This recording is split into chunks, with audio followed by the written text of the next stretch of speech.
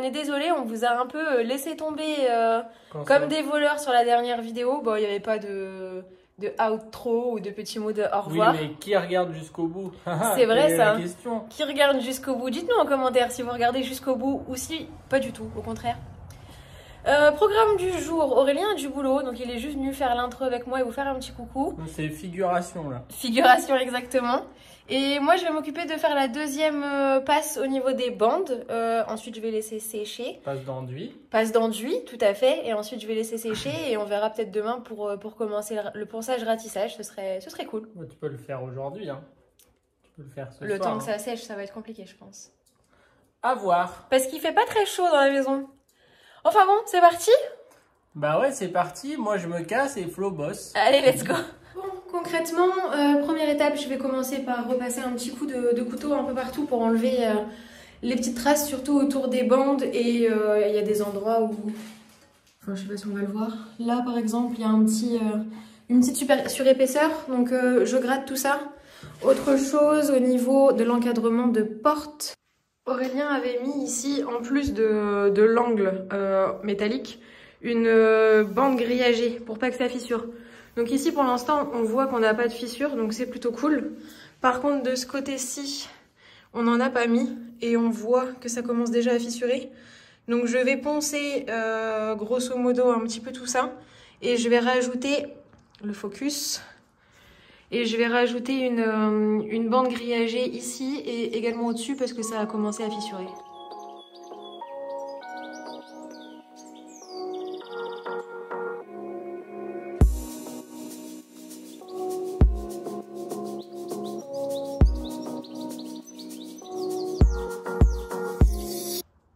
Bon, concrètement, je sais pas si vous vous souvenez, mais dans l'épisode précédent, on a commencé à faire l'enduit et on s'est rendu compte que notre enduit était mort, euh, sauf qu'on avait déjà fait une première euh, couche sur le bâti de porte et une bande et je me rends compte qu'en fait l'enduit qu'on a mis déjà a eu beaucoup de mal à sécher et en plus il s'effrite à fond donc j'ai enlevé le, maximum, tout ce qui était euh, pas sec et qui s'effritait et comme ça je vais pouvoir remettre ma bande grillagée et refaire une bonne passe d'enduit pour que tout soit, soit bon et que ça sèche bien après.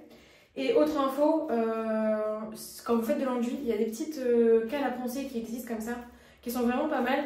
Là, vous avez un côté arrondi, ici, vous avez un côté en pointe pour faire les angles, et vous avez des normales, des carrés. Franchement, c'est top, ça coûte pas grand chose et, c'est vraiment pratique. Donc là, j'ai des petites bandes grillagées. Je sais qu'il y a des, des plaquistes, des plaqueurs, des enduiseurs, je sais pas trop comment on dit, qui n'aiment pas utiliser ces bandes-là. Mais honnêtement, euh, nous, on a utilisé quasiment que ça sur les bandes dans le studio, à part pour les angles entrants, les angles sortants, où on a mis des bandes papier ou des réglettes métalliques. Et, euh, et franchement, on n'a pas de fissures dans le studio, donc euh, nous, ça nous convient très bien. Là, dans la salle de bain, on a mis des bandes de papier partout et on a mis de la grillagée juste autour de, la porte. Et voilà, on verra bien. Bon là, forcément, comme de l'enduit sur le mur, mes bandes grillagées qui sont censées être autocollantes ne collent pas. Donc je vais juste les pré-découper et je viendrai les placer avec un petit peu d'enduit.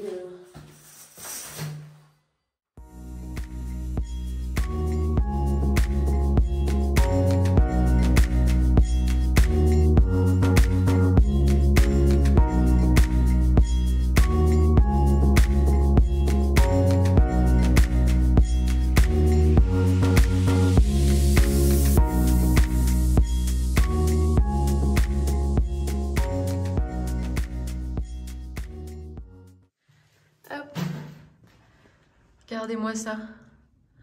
C'est pas encore parfait dans les angles, mais en même temps, c'est la deuxième passe. Et donc, du coup, il y aura un petit coup de ponçage avant la passe de finition. Mais du coup, la bande grillagée est installée. Euh, peut-être qu'il faudra que je repasse un coup pour la recouvrir complètement, mais pour l'instant, je laisse ça comme ça. Et, euh, voilà, celle-ci est installée. Celle du haut est mise. Il faudra que je mette euh, celle qui est là, celle qui est sur le côté ici et celle dans l'intérieur mais je vais attendre un petit peu que les bords ici sèchent un peu, comme ça je pourrai les gratter. Et, euh, voilà, je vais continuer avec, euh, avec le reste. Aussi, euh, je sais qu'il y en a beaucoup d'entre vous qui ont en horreur l'enduit pour plusieurs raisons. De une, parce que c'est chiant. De deux, parce que c'est salissant. De trois, parce que ça demande beaucoup de rigueur et qu'il faut poncer et refaire des couches et des couches et des couches. Et je sais qu'il y en a pas mal qui galèrent. Je vois en story où certains me disent Ouais, c'est un enfer, j'en ai partout, ça va pas, j'ai toujours des petits bouts dans mon enduit. Euh, un conseil, et le plus gros conseil que je puisse vous donner en tant que non professionnel de l'enduit, c'est de nettoyer vos spatules. Là, elles sont dégueu parce que je suis en train de bosser et que je ne l'ai pas nettoyée. Mais entre chaque passe sur le mur, on racle notre spatule avec celle qui nous sert de, de stockage d'enduit et celle qui travaille doit toujours être propre parce que forcément si vous avez un caca d'enduit et que vous lissez avec votre spatule dégueulasse, bah, vous allez avoir plein de trous partout et ça va être chiant parce qu'il va falloir repasser dix fois, ce sera toujours la même histoire.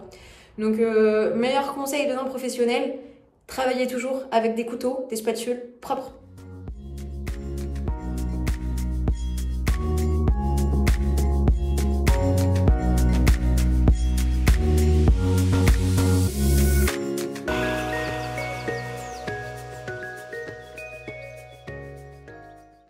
Bon, premier saut d'enduit terminé. Je fais des petits sauts parce que ça durcit assez vite. Euh, autre chose, je voulais vous parler des, petites spatules. Ici, ce sont des spatules de la marque euh, Pingouin. C'est pas un partenariat, hein, on les a achetées. Mais euh, elles sont vachement cool parce que par exemple, au bout là, vous avez un, embout visseuse cruciforme. Et donc du coup, quand vous êtes en train d'enduire, si vous voyez que vous avez une tête de vis qui est pas spécialement bien entrée dans le placo, bah, plutôt que de redescendre, d'aller chercher la visseuse avec l'embout placo, vous avez sous votre spatule sous votre couteau l'embout. et ça, c'est vraiment pratique du coup, parce que si vous êtes sur l'échafaud ou sur l'échelle en train d'enduire, que vous voyez que la tête de vis est pas suffisamment enfoncée, il n'y a qu'à tourner la spatule, la renfoncer et passer un coup d'enduit. Voilà, du coup, euh, on va refaire un petit saut d'enduit et puis on va continuer.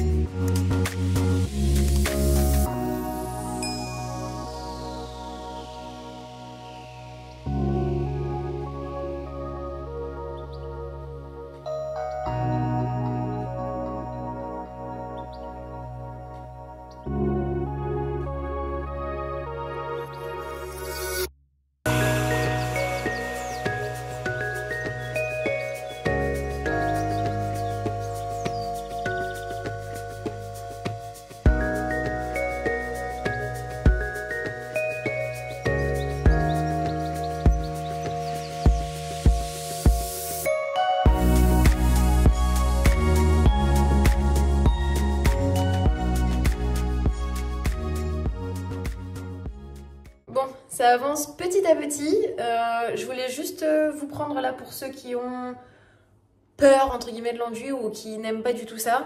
Euh, je vais vous montrer moi où j'en suis et ce que j'accepte entre guillemets en termes de finition pour cette deuxième passe d'enduit de, rebouchage, hein, de, de, bande à joint.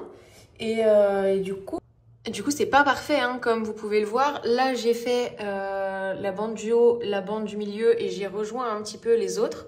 Et vous voyez tous ces petits cacas là, en fait, c'est j'ai fait cette partie-là, c'était lisse. J'ai fait celle du dessous, c'est un peu remonté sur le côté. Ça, c'est pas grave. Pour l'instant, je m'en occupe pas, je me prends pas la tête avec ça. Parce qu'en fait, en séchant, une fois que ça va être sec, j'aurai juste à mettre un petit coup de spatule le long du truc et tout va sauter. Et ce qu'il faut se dire, pareil hein, pour les angles ou quoi, avec la petite... Euh, la petite cale à poncer, ce sera parfait après. Et du coup, ce qu'il faut se dire, en fait, c'est quand on fait notre première passe euh, pour coller les bandes et ensuite euh, charger pour pouvoir euh, que la bande soit bien collée et qu'on ne la voit plus, on ne cherche pas la finition. Alors, il faut que ça soit un minimum propre et il ne faut pas en mettre une tonne parce que l'enduit de... L'enduit de, de, bande à joint, il est hyper dense et il est hyper chiant à penser, franchement. Donc du coup, mettre le moins possible de matière, mais suffisamment pour que ça colle et que ça tienne. Et euh, ne pas non plus prendre la tête sur euh, les petites marques ou trucs, parce que dans tous les cas, on va poncer avant de faire l'enduit de finition. On n'est pas encore dans la finition. Voilà.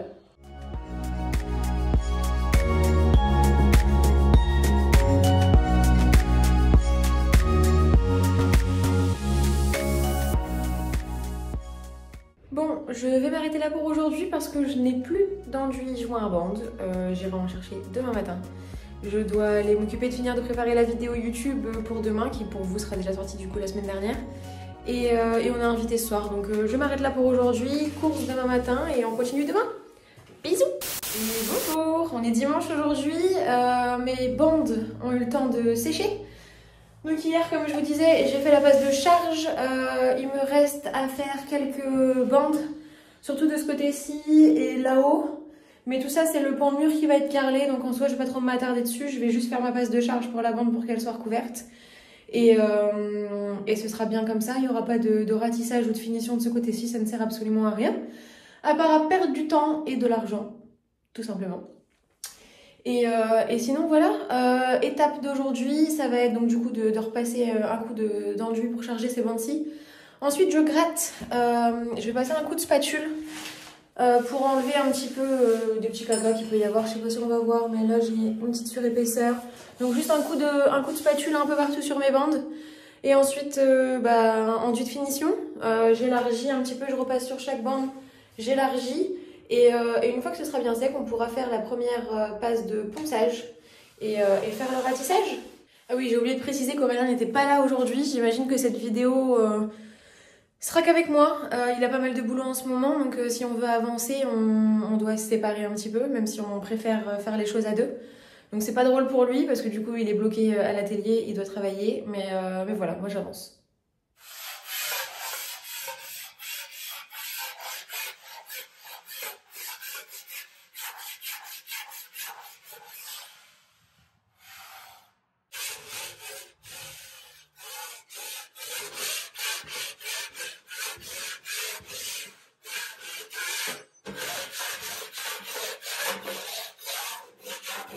Bon, j'ai déjà passé un petit coup de, spatule partout. Euh, je vous ai filmé euh, juste un ou deux passages parce que clairement c'est pas très intéressant. Euh, pour mes angles, euh, donc là j'ai des petits, des petits cacas qui sont coincés entre deux. Ce que je vais faire c'est que je vais utiliser cette petite cale à poncer.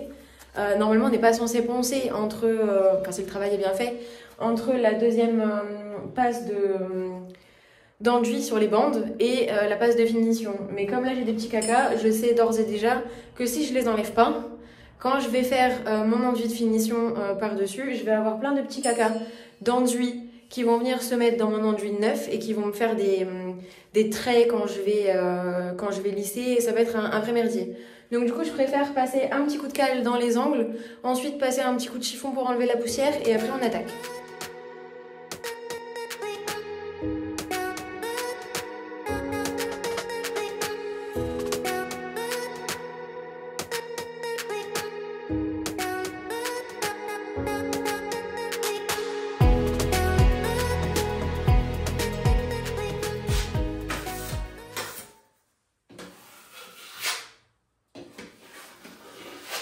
C'est quand même vachement satisfaisant d'être dans son canapé le dimanche matin et de regarder les gens travailler, ouais.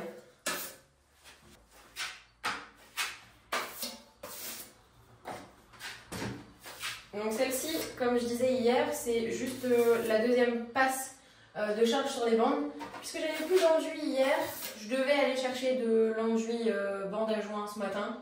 Finalement, j'ai vu sur le paquet d'enduit de finition que tu pouvais aussi faire tes bandes avec celle-ci. Comme elles sont déjà collées, je suis partie avec cet enduit là et, euh, et, ce sera très bien comme ça. Bon, concrètement, j'ai déjà pas mal avancé. J'ai repassé, comme je vous disais, euh, la base de charge sur toutes les bandes que j'ai pas pu faire hier. Il m'en reste une ou deux, mais j'aime bien attendre un peu, faire un côté de bande, attendre que ça sèche, faire une autre en attendant et revenir sur ma bande. Ça évite de, quand je fais l'autre côté, abîmer ce que j'ai fait. Euh, à l'opposé. Enfin, je sais pas si vous voyez ce que je veux dire, mais par exemple, si je commence par ce côté-là, je vais faire toute la ligne de ce côté-ci. Ensuite, je vais aller faire une autre bande, le temps que ça sèche un petit peu. Et après, je vais venir faire ce côté-là. Ça m'évite d'avoir des cacas entre les deux et, et tutti quanti. D'ailleurs, je vois que celle-ci n'est pas faite, il va falloir que je la fasse. Et puis, j'ai été chercher euh, la Perfect List. Alors, elle est très grande. Hein, il aurait fallu le modèle en dessous. C'est un petit peu prématuré parce que normalement, c'est pour le ratissage. Mais pour passer euh, sur mes grandes bandes, donc sur celle-ci, j'aime bien utiliser la Perfectly, je mets la matière directement dessus, je remonte et, et c'est fini, on n'en parle plus quoi. Go, je vous pose en timelapse quelque part et puis euh, voilà, j'espère que vous vous ennuyez pas trop parce que de l'enduit, de l'enduit, de l'enduit, c'est pas trop trop fun quand même.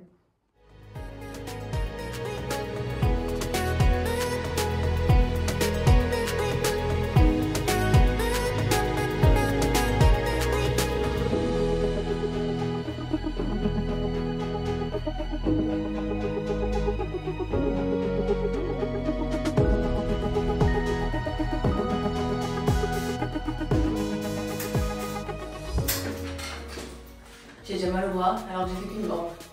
Heureusement qu'il n'y a qu'une bande sur ce plafond. Mais j'avais oublié à quel point c'était relou d'enduire des plafonds, ou de peindre des plafonds tout simplement. Mais c'est la vie, c'est comme ça. Et, euh, et, il fait chaud, très chaud dans cette salle de bain. Pourtant, il n'y a pas de chauffage dans la maison, tout est grand ouvert. Mais j'ai chaud. Voilà. On y retourne. Ah Et la perfect list que je pensais un peu prématurée, en fait, euh, pas du tout. C'est trop bien. Ça va super vite, je kiffe. Euh, c'est ma technique, j'ai envie d'utiliser ça. Peut-être que c'est pas conventionnel. Mais ça fait très bien l'affaire.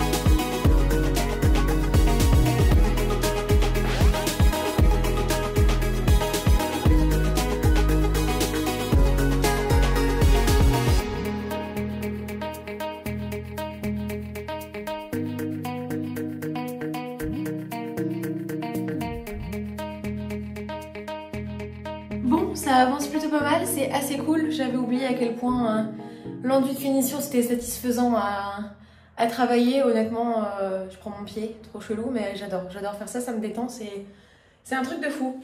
Euh, je vais aller m'attaquer au décroché de la douche. Par contre, je vais pas vous filmer ça parce que je sais pas où vous mettre tout simplement. Donc je m'occupe de ça et je vous montre après. A tout Tu kiffes Ouais. Tu kiffes grave Grave. J'avais carrément oublié à quel point c'était satisfaisant de faire de l'enduit. Tu kiffais sur une échelle Ça, un peu moins, mais bon. Et oh, pousse tes fesses, toi, là Est-ce que j'ai le choix, finalement Je sais pas. Bah ouais, t'as le choix, on a toujours le choix dans la vie. On a toujours le choix dans la vie. Chou, les biscottos Bon, ça va, on a le droit. Tu m'étonnes. Moi, je vais aller rechercher de l'enduit, parce que c'est pas avec ça je vais pouvoir, euh, tu vois, ouais. combler tout ce trou, c'est pas avec une petite crotte d'enduit pareil que je vais y arriver. Hein. T'aimes bien les crottes, toi? Et par contre, ce seau rouge là, je peux plus le voir. Il va falloir qu'on rachète des seaux. Oui. J'ai plein de petits bouts de seau dans mon enduit. C'est pour donner de la texture à l'enduit. Ouais, bah c'est un peu cher. Ouais. Mais voilà quoi, je vais aller rechercher un peu d'enduit. Bon, ben je pense que c'est une fin de journée. Je sais pas trop quelle heure il est, j'ai pas vraiment regardé. Mais je crois que j'ai fini. Je crois pourquoi? Bah Parce que tout simplement euh, il fait sombre, on dirait pas trop là parce que je, me suis mise derrière la lumière. Mais il fait plutôt très sombre. Euh, je pense que tout a été fait. Je suis plutôt très fière de mon travail, franchement c'est trop cool. Euh, on avait carrément galéré à faire l'enduit dans le studio parce qu'on n'avait jamais fait à l'époque et qu'on s'était pas vraiment renseigné, on était parti un peu la tête dans le guidon sans vraiment sans vraiment faire attention et on avait énormément pensé parce qu'on avait mis beaucoup trop de matière sur nos murs. Et là, je vais pas dire qu'on a fait les radins en matière, mais euh, j'ai fait attention à, chaque fois racler, pas avoir de trop gros caca. Donc en soi, même pour ma, ma passe ratissage, je pense que pour la première couche de ratissage, je vais juste repasser un coup de spatule et un coup de, de ponçage dans les angles. Et euh, je vais même pas reponcer en fait, parce que honnêtement, je vais vous montrer après, mais j'ai l'impression d'avoir fait du plutôt bon travail, sans vouloir euh, me lancer des fleurs. Bon, je suis dégueulasse, hein. j'en ai absolument partout parce que je nettoie mes spatules au fur et à mesure quand j'ai des caca sur mon pantalon.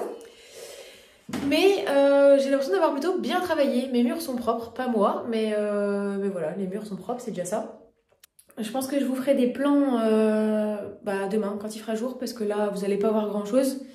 Et, et sinon, je m'arrête ici pour aujourd'hui. On est dimanche, mercredi, c'est mon anniversaire. Et donc j'ai décidé de ne pas travailler, euh, ce soit aussi euh, la chance d'être patron. J'ai décidé que je bosserai pas mercredi, donc à mon avis, euh, je vais venir ici mercredi après-midi faire le ratissage. On verra bien, mais voilà. Bisous. bonjour. Nous voilà le mercredi 20 mars. Il est à peu près 15h30. Je vais m'attaquer au ratissage. Je suis pas venue ici trop tôt parce que j'avais pas trop envie. Euh, mais voilà, maintenant qu'il fait jour, je peux vous montrer un petit peu ce à quoi ça ressemble. Je sais pas si vous allez voir. Mais concrètement, euh, c'est assez lisse.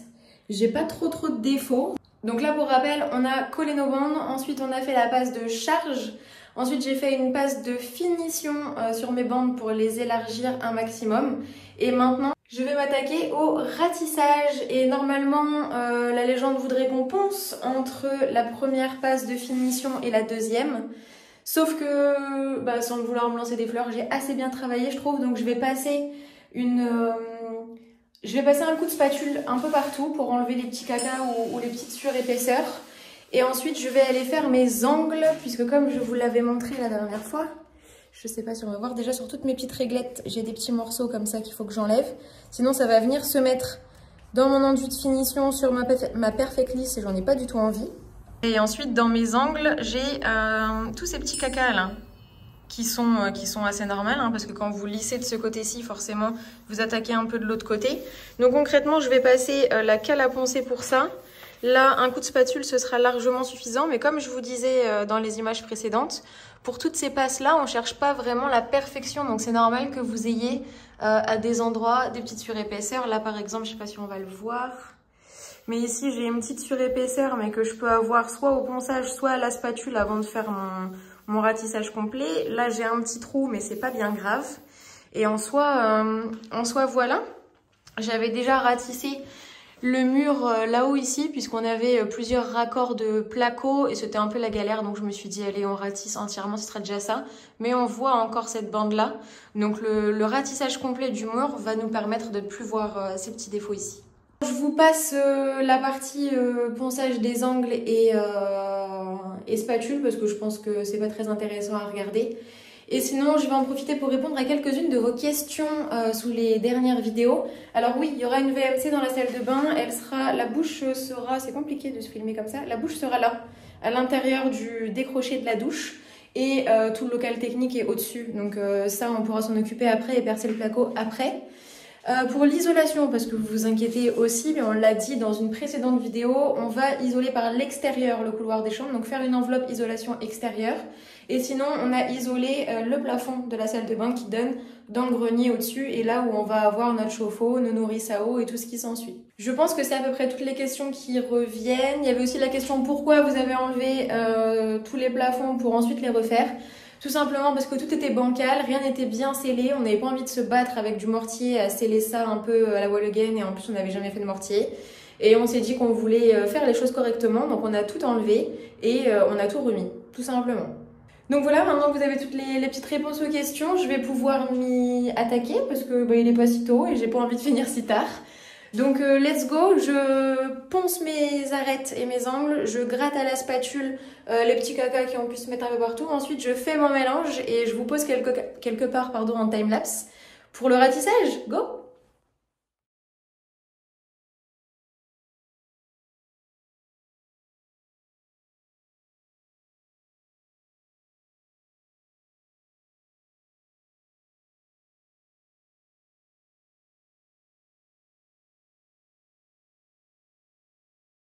j'ai gratté, j'ai nettoyé mes angles. Je vous ai fait quelques petits plans, vous avez pu, euh, vous avez pu le voir. Là, on est parti pour le ratissage. J'ai préparé mon mélange. À mon mélange d'enduit de finition, donc ma poudre, mon eau, à la fin, une fois que j'avais déjà bien nettoyé et après avoir raclé le pourtour et remixé, j'ai ajouté une petite goutte de produit vaisselle.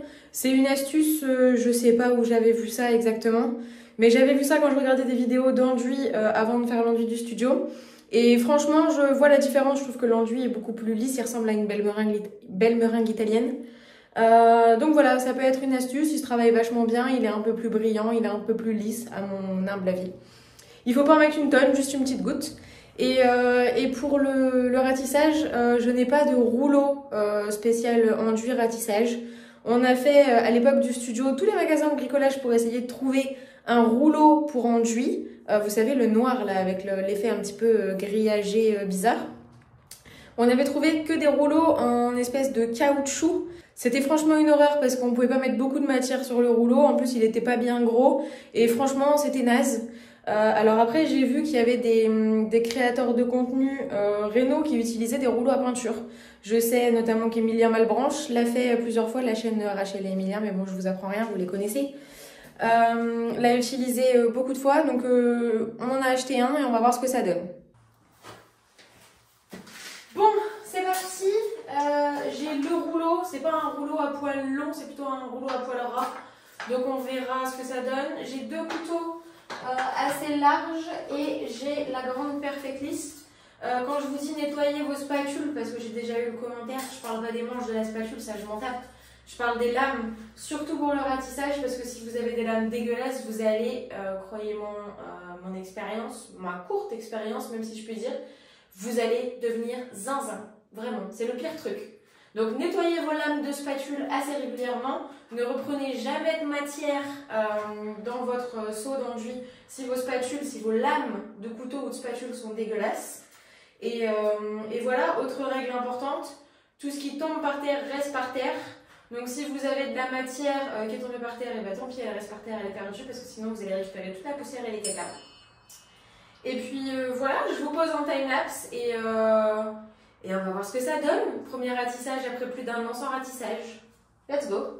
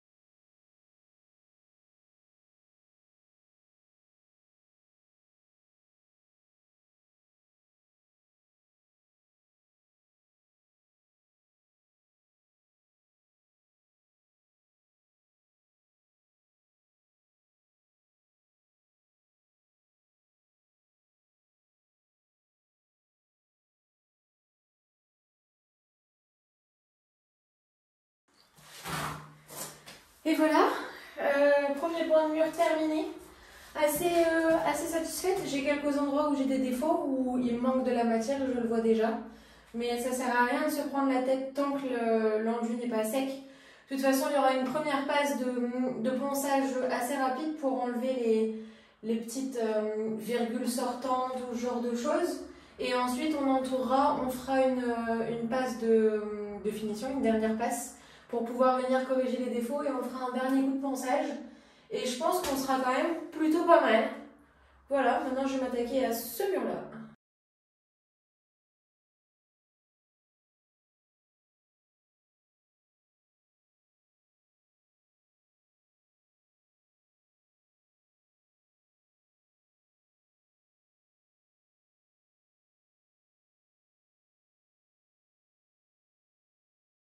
Bon, petit update puisque j'avais plus d'enduit donc je suis en train de refaire un seau. Premier mur fait. Je suis plutôt satisfaite. Comme je vous le disais, il y a quelques petits endroits où il manque de la matière. Mais c'est pas bien grave. Là-haut, c'est fait aussi. Il me reste donc le plafond ici, le renfoncement de ce côté-là. Ce mur-là, ce mur-là, on s'en fiche puisqu'on va le carreler. Donc on le laisse comme ça. Il me restera le plafond ici. Et là, je suis en train de, faire cette partie-là. Il me reste plus des masses d'enduit. Donc honnêtement, à mon avis, je pourrais finir juste ça. Peut-être faire le rebord ici. Mais, euh, mais j'en suis pas certaine. Je viens de refaire un mélange. Et il y a franchement pas grand chose. Et avec le ratissage, ça part, ça part très vite.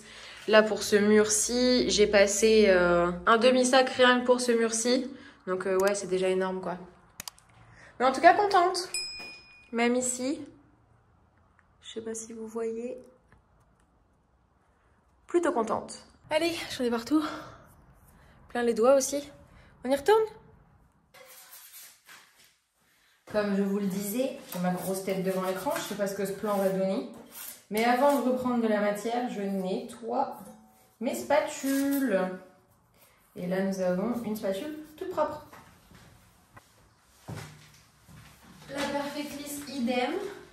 Et quand on nettoie les lames, on nettoie aussi l'arrière de la lame, hein, ça, parce que là j'ai des cacatousets qui vont venir se mettre dans mon enduit et ça va être dégueu. Et voilà pourquoi j'ai toujours le pantalon dégueulasse. Parce que je m'essuie toujours sur mon froc. C'est très bizarre de se filmer quand on est tout seul. Quand on est avec Aurel, ça nous fait rire, on oublie la caméra. Mais là, du coup, je suis toute seule. Et je ne vois que vous. Un peu perturbant, mais bon. Euh, grosso modo, à mon avis, j'ai assez d'enduit pour finir seulement ce mur-là. Donc on va déjà faire ça. Et puis on verra après. Euh, ce que je fais généralement, c'est que je commence par faire mes, mes angles. Donc je mets de la matière sur ma spatule. Je sais pas pour qui je me prends à vous faire un tuto, hein, parce que je suis pas une experte, mais je travaille un peu ma matière, ça enlève les derniers petits grumeaux, je l'étale sur ma spatule. Lui, il va me casser les bonbons, c'est sûr. J'espère qu'il n'y a pas de jus là-dedans. Et là, comme je vais dans mon angle, je sais que c'est cet angle-ci de ma spatule qui va y aller quand je vais la retourner. Donc j'étale ma matière ici, il y en a beaucoup, mais euh, c'est pas bien grave. Et je me suis plantée, c'est pas le bon angle. C'est celui-ci. Hop. Et du coup.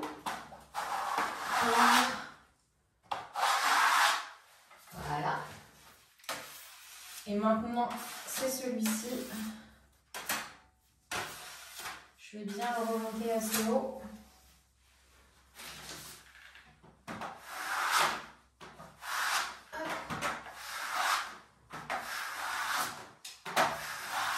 Et là, je suis bon, j'ai de la matière partout.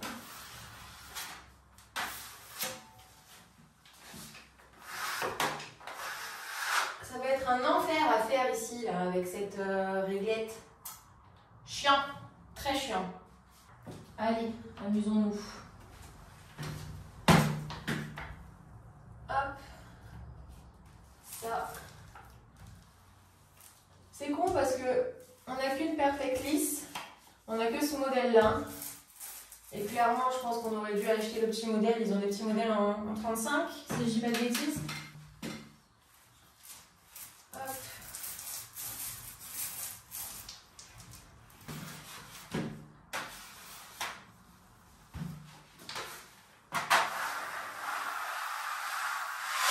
Voilà. C'est ça qu'on veut. Je parle toute seule dans ma salle de bain comme zinzin.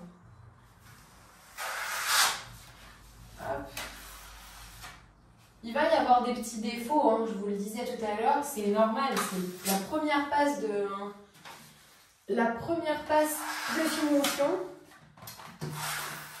Et donc tout ne peut pas être parfait, c'est normal.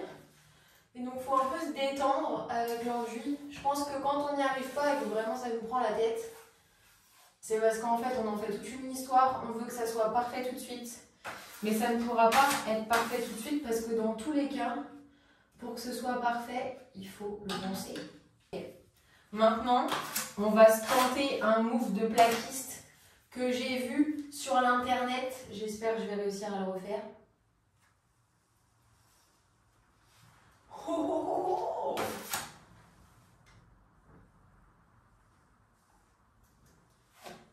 ok.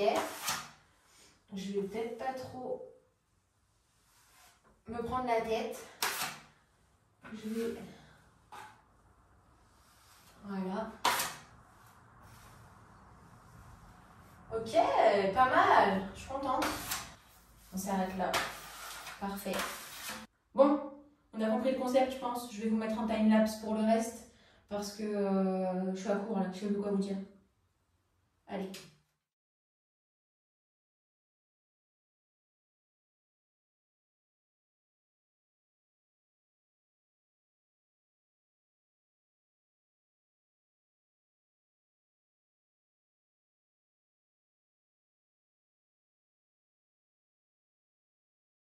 Bon, du coup, euh, le pan de mur est terminé. C'était un peu plus touchy parce que j'avais les, deux arrivées électriques, les prises et le chauffage au sol, et euh, là-bas pour le double prise. C'est un peu plus brouillon de ce côté-ci que, que l'autre mur, du coup, parce que celui-ci était tout lisse et euh, il n'y avait pas d'obstacle, on va dire. Mais voilà, je vous fais quelques plans, je vous montre. Là, on voit bien que là-haut, ça a été, j'ai pas eu trop de mal. Là, on voit que un peu la galère avec l'équerre. Ensuite, on descend et voilà, j'ai mes petites virgules qui sont là, que je peux pas trop trop euh, idem ici autour de la prise. Donc comme je vous disais, c'est un peu plus brouillon, mais c'est pas bien grave parce qu'une fois que ça va être sec, un tout petit coup de ponçage et c'est terminé. Et bonjour Nous sommes le lendemain, le jeudi 21 mars du coup. Je suis un peu partie comme une voleuse hier soir puisque Aurélien euh, était rentré. J'avais fini mon pan de mur, je n'avais plus d'enduit et euh, je voulais trinquer à mes 29 ans. Voilà. Il est 16h aujourd'hui, Aurélien a récupéré de l'enduit, donc moi je vais m'attaquer euh, à finir le ratissage, mais ça vous le verrez dans une autre vidéo puisque c'est la fin de celle-ci. Je pense que c'est déjà suffisamment assez long et qu'il y avait déjà suffisamment assez d'informations. Donc j'espère que cette vidéo vous a plu, euh, on se dit à la semaine prochaine pour une nouvelle vidéo et en attendant si vous avez des questions ça se passe dans les commentaires et n'hésitez pas à nous laisser un petit like et à vous abonner parce que ça nous motive carrément. Bisous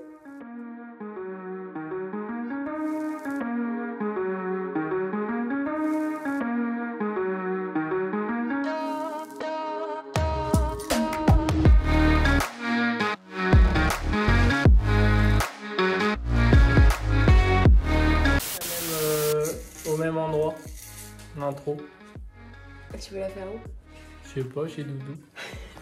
je me rends compte que j'avais mis mon seau d'enduit à côté du radiateur. Très bonne idée. Je vous cause, je sais même pas si vous m'entendez et je sais même pas si mon plan on voit quelque chose.